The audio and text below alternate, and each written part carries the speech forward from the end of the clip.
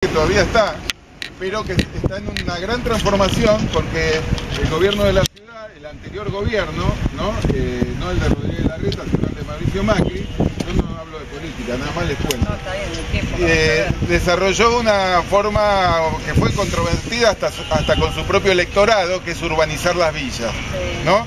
Entonces está entregando viviendas a, a la gente, a las familias que están asentadas en este lugar. Pero ¿dónde están las viviendas? ¿En otro Ahí están, ¿no? Ahí. Ah. Están Ah, viendo unas viviendas de primer nivel, me parece al principio, ¿no? Como allá en la, Lo la valiendo Villa que son 31. todos de otro país.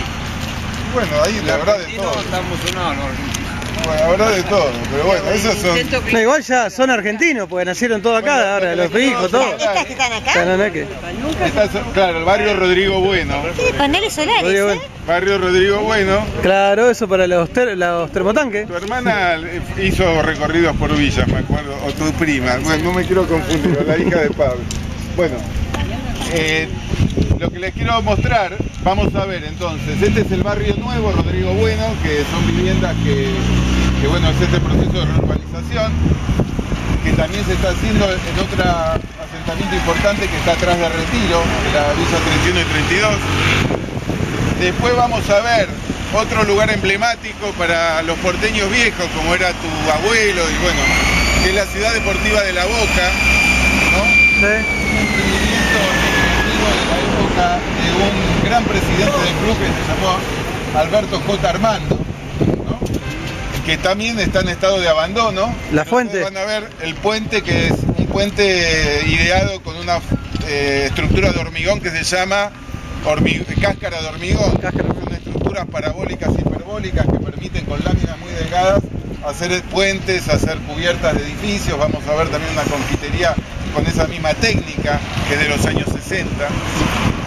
Después me gustaría hacerle una breve comentario sobre lo que es patrimonio industrial, porque últimamente en los últimos años hay un- una recuperación también como monumentos, como lugares que tienen importancia artística y estética, que es el patrimonio industrial, fábricas, terminales ferroviarias.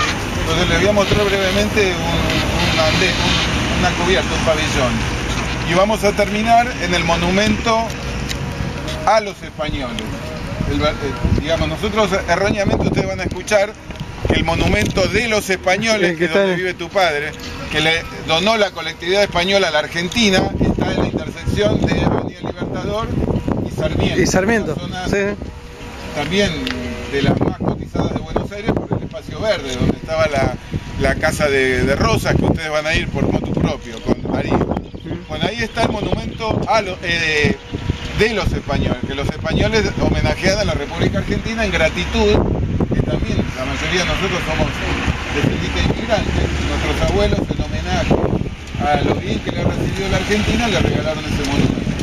Ya lo van a ver. Pero ahora lo que vamos a ver la respuesta, el, el- el monumento que la Argentina eh, da como homenaje a los españoles. Ah. Monumento a los españoles. Se lo cuento acá porque hay mucho ruido de camiones allá. El Bárbaro. monumento es de un escultor argentino ya que se llama Arturo Dresco. Arturo Dresco eh, diseñó un monumento en bronce donde están todos los personajes de la conquista y la evangelización eh, española hacia América. La mayoría de las imágenes están mutiladas, están muy destruidos, muy maltratados y ahora se está restaurando.